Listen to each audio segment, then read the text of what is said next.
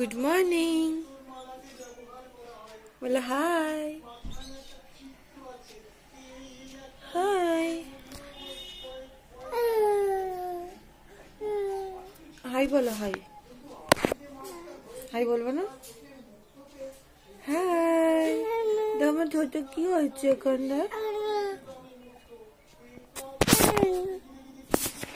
High বলব না high বলো গুড মর্নিং চলো চলো চলো। পরিষ্কার হয়ে গেছে মহারাজ কি পরিষ্কার হয়েছে? ব্যাপার খেয়াল করেছেন? থেকে আমরা যখন মাছের আড়তে গিয়েছিলাম তখন দুজনকে দেখেছিলেন মাথায় ছিল।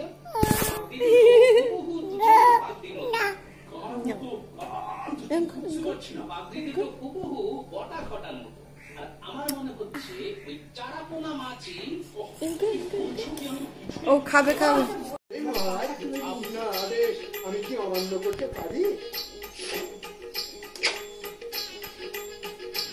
কি?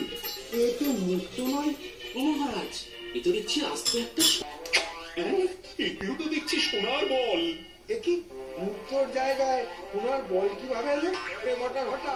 তোরা আমাকে না বলে মুক্তর জায়গায় সোনার বল খাইয়েছিস? হ্যাঁ? হায় হায় হায় হায় হায়। আপনার কথা মতো মুক্তই খাইয়েছি। সোনার বল কি তবে এলো? কি বলে মন্ত্রী বটা ফটা মাছকে মুক্ত খাওয়ায়। ইয়ে মানে কিছু না কিছু না। মুখ ফসকে মূল করে মন্ত্রী মশাই পুরো রাজ্যবাসীকে কীভাবে বোকা বানাচ্ছে? মন্ত্রী আমি কাল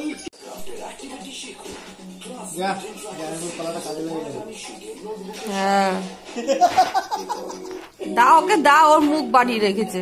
দাঁড়া মুখটা খেয়ে ও ভাবছে ওটা নিয়ে চলে যাচ্ছে।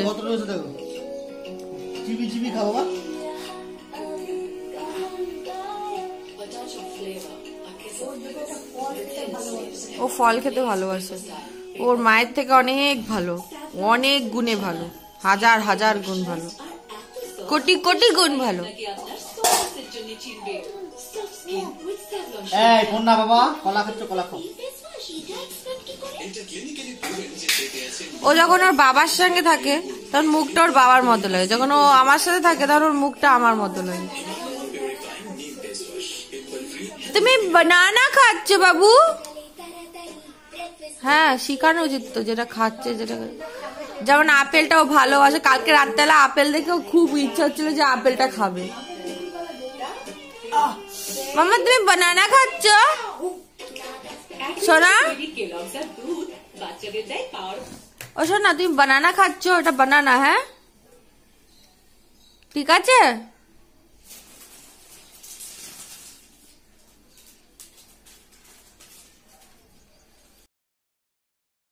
তো সোনা ব্রেকফাস্ট করার পর মানে দুধ, বিস্কুট খাওয়ার পর, আজকে একটু কলা খেতেও ইচ্ছা করছিল, তো বাবার কাছে কলা খাচ্ছিল। তারপর আমার শ্বশুর শাশুড়ি এসেছিল। তো সেই আজকে শ্বশুর শাশুড়ির সঙ্গেই সোনা সারাটা দিন কাটিয়েছে। তাই জন্য মা এসেছিল মানে আমার শাশুড়ি মা তো ওনার সাথে ছাদেতে গিয়ে খুব মজা খুব মজা। তো মজা হয়ে যাওয়ার পর। নিচেই মোটে আসতে চাইছিল না তো আমি নিচে এসে কোনো রকমে আলু আর কি রান্না করলাম আজকে? ও আলু সোয়াবিন আর ডিমের তরকারি রান্না করেছিলাম। তো সেই তরকারি করেছিলাম। করে কোনো রকম উপর চলে গেছিলাম। তো মা নিচে একটু আলু, পেঁয়াজ, কলি আর কড়াইশুটি ভাজা করেছিল। শুধু এক পদে খেতে কীরকম একটা লাগে, তাই জন্য। হ্যাঁ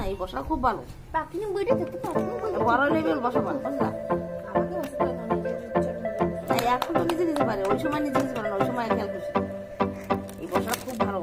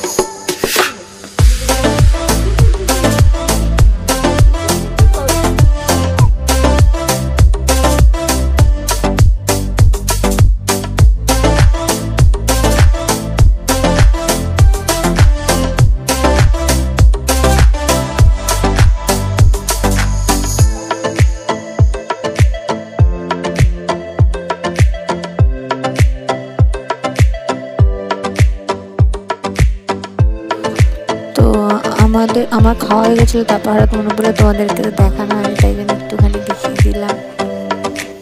তো খাওয়া দাওয়ার পর আমি আমার শ্বশুর শাশুড়ি আবার ছাদে গেছিলাম। তো আজকে সারাদিন ছাদেই কেটেছে, কারণ শীতকাল ছাদেতেই রোদ থাকে, তো মানুষ ছাদেই কাটাবে, তো আমরা তাই কাটিয়েছি আজকে সারাটা দিন ছাদেতে। তাদের রোদটাও বেশ ভালো উঠেছিল। তো আর সোনাও খুব মজা করছিল আমার শ্বশুর শাশুড়ির সঙ্গে, তো তাই কেটে যাচ্ছিল যে দিনটা এইভাবেই মোটামুটি কেটেছে বলতে গেলে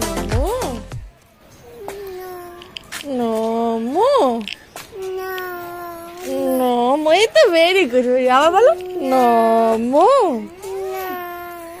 মো। বলো ম বলো। নমো। না। মো। না। না।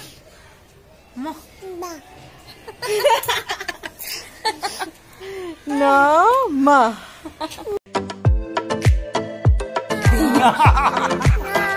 no. Ajo. Ah, No. Mana No. mana No. Video, No.